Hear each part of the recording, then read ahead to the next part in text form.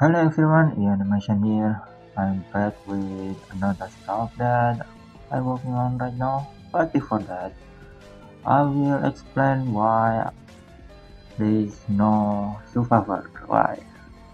First, I have something to do with my real life, you know, this casual stuff.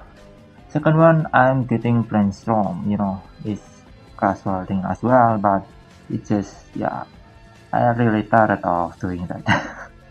but I want to finish that, of course. So third one, I wanna do something else.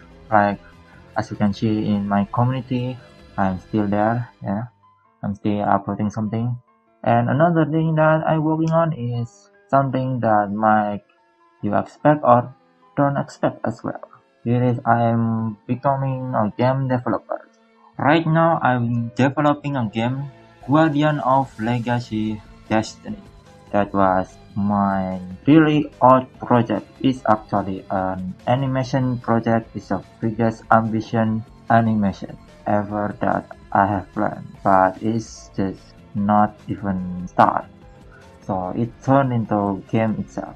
What is that game about? That game is about more like a fighting game as you can see here, I am making the game by using UpBGE. What is that? UpBGE. UpBGE is Blender old game engine by community. It's not from official. It's built by community and for everyone. Next is I wanna showcase the game that I'm working on. So here it is.